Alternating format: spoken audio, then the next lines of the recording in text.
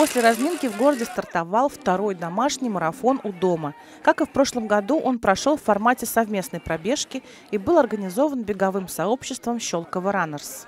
Сегодня у нас маршрут проходит э, из Щелково через Гребнево, Фрязино, Фрязино и обратно сюда. Вторая половинка проходит через Чкаловскую, э, карьеры, через улицу Заречную, мы возвращаемся обратно сюда, к навигатору. Общая протяженность дистанции 42 километра. Спортсменов и любителей сопровождали пейсеры, лидирующие бегуны, которые проходят дистанцию с определенным темпом. Щелковский ежегодный марафон у дома – это не только прекрасное локальное спортивное мероприятие, праздник бега для всех наших местных щелковских бегунов. Это еще и, пожалуй, начало реально настоящей весны в наших краях, э, в нашем городе. Кстати, уже два года подряд 1 января щелковские бегуны выходят еще на одну дистанцию. В 2024 они пробежали символические 2024 метра.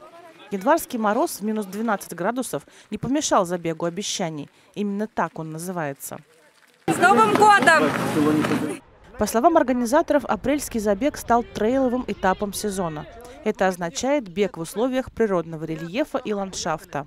Несмотря на то, что участники марафона изрядно промокли и запачкались, в соцсетях они отзывались о забеге с восхищением. По возвращении к навигатору можно было перекусить. Стол накрывали волонтеры. На память участники сделали совместное фото. Анна Наприенко, Игорь Поляков, Щелковское телевидение.